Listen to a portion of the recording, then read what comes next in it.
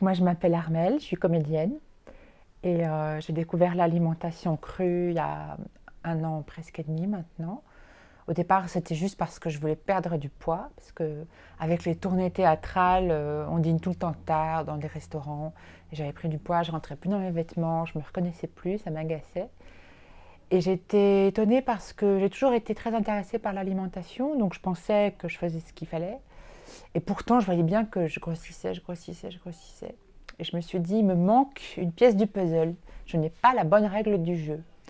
Et un jour, par hasard, sur Internet, je découvre une vidéo de Thierry Casasnovas qui explique le principe du corps qui, étant acide, crée du gras et de l'eau pour neutraliser l'acidité.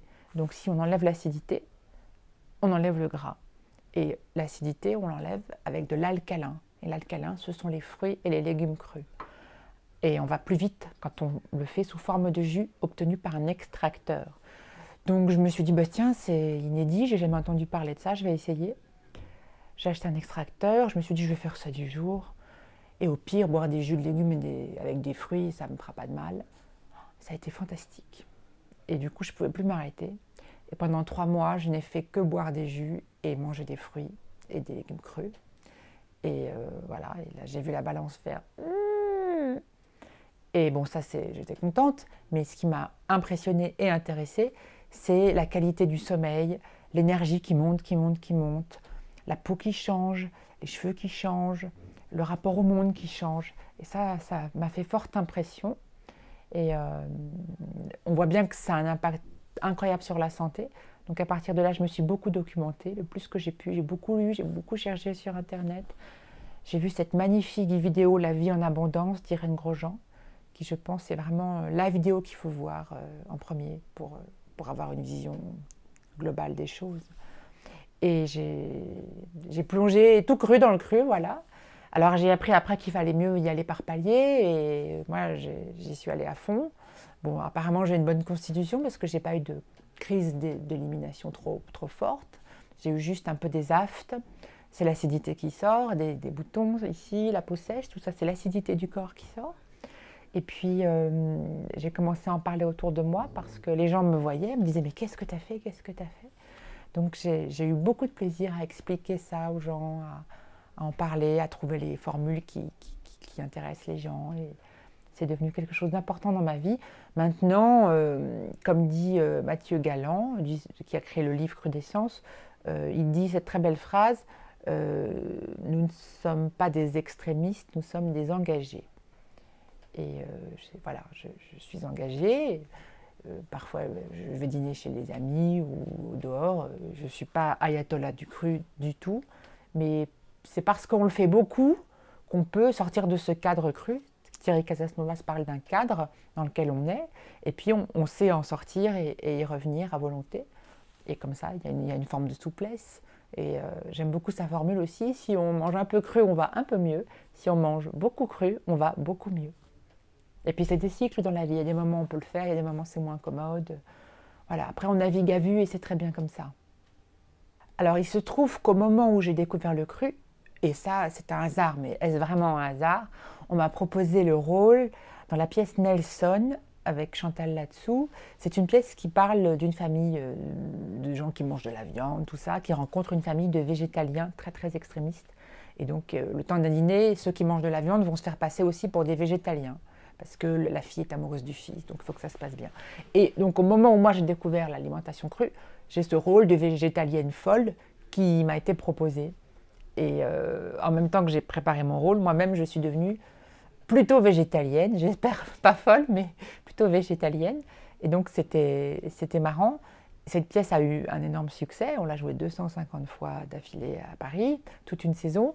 Ça demande beaucoup d'énergie d'être au théâtre tous les soirs. On jouait sept fois par semaine. J'avais mis un extracteur au théâtre. Je faisais des jus pour tout le monde le soir avant de monter sur scène. Et j'ai bien vu l'énergie. Et donc, on a, on a traversé euh, toute la saison avec l'énergie des, jus et du cru. Et oui, là, j'ai vu la différence. D'habitude, moi, quand je joue au théâtre, au bout de 100 fois, euh, je, peine. Et là, euh, ça a été comme une lettre à la poste.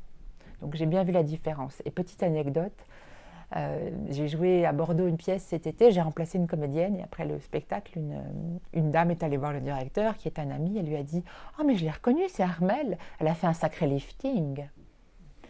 Et voilà, j'ai pas fait le lifting, c'est juste le cru. Et c'était le plus bel hommage qu'on pouvait rendre à cette alimentation, puisque en se reminéralisant par les fruits et les légumes crus, on, rajeunit, puisque un corps vieillissant, c'est un corps déminéralisé. Le message, c'est que c'est quelque chose qu'il faut expérimenter soi-même. Ça sert à rien d'en parler dans le vide ou de façon théorique. Et on peut y aller très tranquillement en douceur.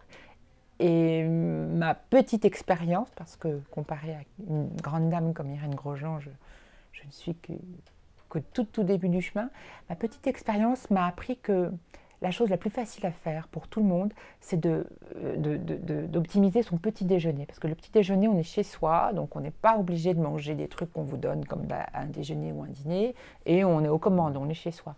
Et le matin, je pense qu'il faut soit jeûner si on n'a pas faim, parce que c'est un moment privilégié pour le corps pour se nettoyer, soit manger des fruits sous forme de purée ou, même à la croque pour avoir de l'énergie et soutenir le nettoyage du corps. Et ça, si on a cette discipline-là, si on fait ça tous les matins, et on finit sa matinée par un grand verre de jus de légumes fait à l'extracteur, voilà, si on fait ça, on a déjà fait un gros morceau du chemin et ça change déjà beaucoup de choses même si après on continue à s'alimenter de façon classique, rien qu'en en, privilégiant ce moment du matin pour soit jeûner, soit manger des fruits en purée ou à la croque, et prendre un grand verre de jus de légumes avant euh, le déjeuner, c'est super. Et si en plus on peut faire un repas de fruits, euh, en l'occurrence le déjeuner, parce que les fruits, faut monter l'énergie, on a fait un grand chemin. Et on le sent tout de suite sur son corps, son énergie, son bien-être. Alors, quand on mange cru, on nettoie ses intestins et au bout d'un moment, on se rend compte qu'on a les pensées de ses intestins. Et du coup, on a les pensées beaucoup plus claires. Euh, on est très dans l'instant présent, on n'est pas à gamberger sur la suite. On dort beaucoup mieux. On a besoin de moins de sommeil parce qu'on a plus d'énergie. Et moi qui étais une grande, grande dormeuse devant l'éternel, là, j'ai vraiment vu la différence. Et tout d'un coup, ça m'a changé la vie parce que j'avais beaucoup plus de temps. Et puis, euh, on a une forme de, sérénité euh, voilà, qui, qui, se met dans le corps. Euh, je ne sais pas, on, vibre juste. Voilà. Tout ça, c'est des histoires de vibration. Je ne sais pas comment l'expliquer, mais on vibre juste et, et, et, on est bien.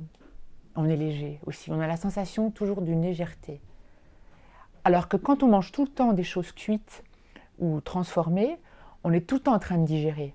Et on a à peine fini de digérer qu'arrive le repas d'après et, on et hop, c'est reparti pour un tour. Ce qui fait que ça fait des corps qui sont en digestion permanente et donc qui n'éliminent jamais. Parce que si on digère, on ne peut pas éliminer. C'est l'un ou l'autre. Le corps, il a. C'est comme un aiguillage sur une voie ferrée. Soit on digère, soit on élimine. Mais la, façon dont on, on mange euh, en, en, Occident, on est tout le temps en train de digérer quelque chose. Et puis dès qu'on a fini de digérer, pof, il y a un repas qui arrive et c'est reparti pour un tour. Et, donc c'est important de comprendre qu'il faut laisser à son corps le temps d'éliminer.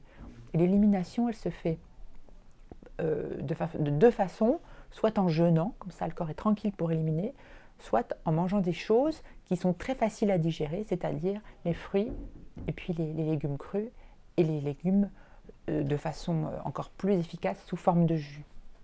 Quand on fait ça, on, optimise vraiment le processus. Un jus préféré Alors moi je suis pas très recette parce que je suis assez, euh, je suis une guenon, c'est-à-dire que dès qu'il y a des trucs, je les mange, quoi. Je me pose pas de questions. Euh, je pense qu'il faut pas faire des jus trop compliqués, ça sert à rien, parce qu'après on arrive à des mélanges improbables, des couleurs bizarres. Euh, en fait, il faut expérimenter soi-même. On, comprend vite ce qui se complète, ce qui se complète pas. c'est toujours bien d'adoucir un peu les légumes avec un petit peu de fruits, mais en gardant une grande majorité de légumes. J'aime beaucoup la pastèque, qui est le, fruit fétiche aussi de Thierry Casasnovas. J'aime beaucoup euh, la betterave. C'est riche, c'est gras, c'est bon. Euh, je suis arrivée à aimer le céleri, qui n'est pas évident, parce que le céleri, c'est fort. Et ça s'adoucit très bien avec de la Granny Smith, les pommes vertes comme ça, acidulées. Euh, et puis toujours du gingembre et du curcuma dans les jus. Ça, fait bouger la lymphe et puis c'est très efficace pour la santé Voilà, ça c'est. Mais surtout, allez voir les vidéos de Thierry Casasnovas parce qu'il en parle divinement. Il est, est très inspiré et lui, c'est un vrai spécialiste. Moi, je suis juste une, comédienne qui a trouvé ça et qui essaye d'en parler autour d'elle. Des gens comme Thierry Casasnovas, Irène Grosjean, Bernard Clavière, qui est un grand monsieur du jeûne, qui a écrit un livre très très bien, qui dit si on s'arrêtait de manger de temps en temps. Euh, ça, c'est des gens qui, dont toute l'énergie va vers, vers, le cru, vers ces expériences-là. Ça, c'est des gens qui ont beaucoup à nous apprendre. Et alors, euh, rendons grâce au ciel qu'il y ait des, des êtres qui, qui, soient allés chercher toute cette connaissance et puis qui, la diffusent. C'est vraiment une grâce d'être contemporain de ces gens-là. Et puis, euh, j'ai aussi beaucoup apprécié les livres de Norman Walker, qui est un monsieur qui, qui a vécu une centaine d'années et euh, qui était un pionnier des jus, qui a fait la première machine pour extraire les jus, une espèce de gros machin hydraulique. Voilà, maintenant on fait des machines très efficaces, beaucoup plus simples et petites. Et euh, il a écrit des, livres qui sont merveilleux parce que bon, il donne toutes les propriétés spécifiques de tel fruit, tel légume. À la limite, on n'a même pas besoin de savoir parce que de toute façon, quand c'est végétal et cru, tout est bon. Mais ce qui est très intéressant dans ces livres, ce sont les préfaces. À chaque fois, il y a une préface d'une vingtaine de pages qui est bluffante. Et quand j'ai lu ça, c'était comme une révélation. Tout est dit. Tout est dit.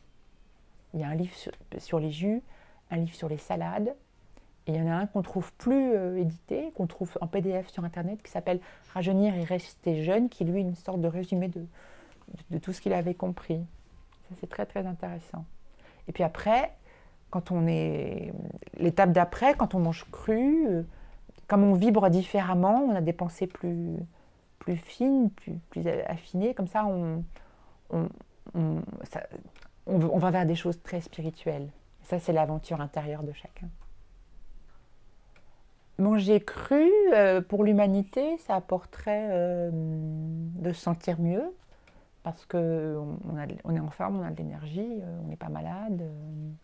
mais c'est toute une organisation. je pense que si chacun à son petit niveau vibre différemment, se nourrit différemment, ça fait comme plein de petites lumières qui s'allument. Et puis, euh, quand il y a des lumières partout, à un moment, ça fait un soleil, je sais pas.